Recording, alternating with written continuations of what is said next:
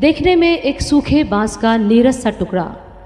लेकिन उसमें ऐसा क्या था कि वो भगवान कृष्ण के हाथ में आ जाती थी, उनके अधरों पर सजती थी और जब उसमें उनकी फूंक पड़ती थी, मानो उस सूखे बाँस की लकड़ी में, उस छोटी सी खोखली सी पोरी बांसुरी में प्राण फूक जाया करते थे।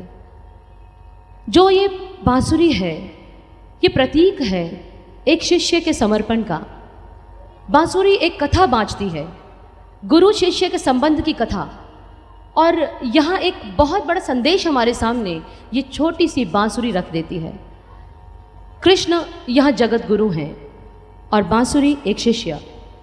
एक शिष्य जिस समय पूर्ण समर्पण को प्राप्त करता है, अपने भीतर इस जज्बे को पैदा करता है कि हाँ मुझे खाक होना है। जब उसके भीतर ये बात जागृत होती है कि मिटाकर मुझे अपने आप में जज्ब कर ले, बका के लिए मैं फना चाहता हूँ। वो चाहता है कि जो ज़िंदगी आज तक दुनिया की कड़वाहट को पीते हुए मैंने जी है, उसमें कुछ भी नहीं था। लेकिन अब जो ज़िंदगी जीना चाहता हूँ, वो तेरे रस से परिपूर्ण जीना चाहता हूँ और इसके लिए मुझे पहले वाली ज़िंदगी में मरना पड़ेगा और यहाँ फिर से जीवन को पाना पड़ेगा, यही द्विज होने की परंपरा है। गुरु के चरणों में जब एक शिष्य समर्पित होता है, गुरु उसे द्विज बना देते हैं। द्विज अर्थात उसके भीतर ब्रह्म ज्ञान को आरोपित कर उसकी आत्मा का जन्म होता है, उसे जागृत कर देते हैं जो सुप्त थी। मन के साम्राज्य में कहीं दबी हुई। और अब समस्त शरीर के संचालन का जो बागडोर है, वो आ जाती है आत्मा के हाथ में। और यहाँ एक शिष्य द्विज बनता है, और जिस क्षण वो द्विज स्वरूप को प्राप्त होता है, उसी क्षण आरंभ होता है शिष्यत्व में पनपने का, शिष्यत्व के भावों को परिपक्व करने का। और जितना वो समर्पण, जितना वो खोखला होता जाता है, जितना वो खाली होता जाता है, जितना उसके भीतर अपने कोई इच्छा नहीं रहती, उसकी अपनी कोई पसंद नहीं रहती, उसकी अपनी कोई कोई बात शेष नहीं रहती, जो है वो तू है। जो करेगा वो तू। जिस क्षण वो अर्जुन की तरह केवल रथ का सारथी ही नहीं, अपने जीवन का सारथी उसे मान लेता है, उसी क्षण वो सही माने में समर्पित हो, एक शिष्यत्व को प्राप्त करता है।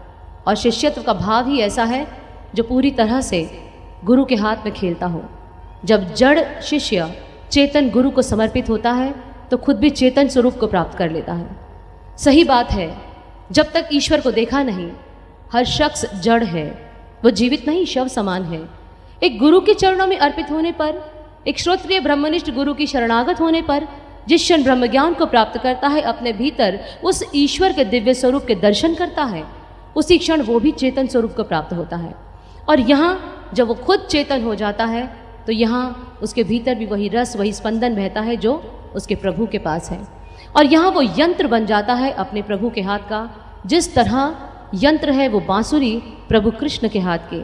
फिर वो चाहे जैसे बजाए, चाहे जैसे रखे, चाहे उसे बजाए, चाहे ना बजाए, लेकिन वो उसका सामीप्य पाती है तो उसके हाथ में खिलता हुआ एक यंत्र बन जाती है। और यदि बांसुरी का सा ये समर्पण एक शिष्य के जीवन में आ जाए। वो गुरु के हाथ का यंत्र बन जाए। एक बार उसे मौका दे। अपने आप को मौका दे कि उसके हाथ में खेल सके। उस कारीगर को अपने ऊपर काम करने तो दे। उसी क्षण उसके जीवन को एक ऐसा रूप देकर तराश देता है वो गुरु कि उसको फिर सारी दुनिया देखती है।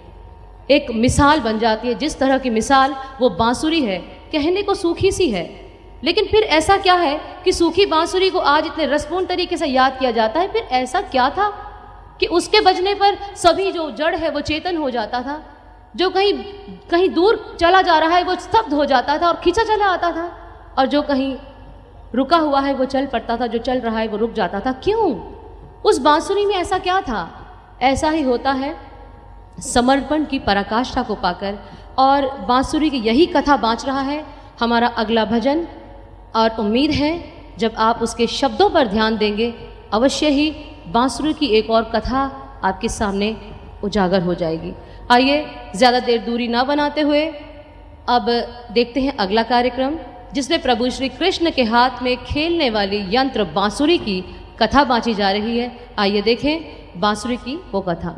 बोलिए, सर श्री आशुतोष महाराज जी की वेणु वादक भगवान श्री कृष्ण की जय।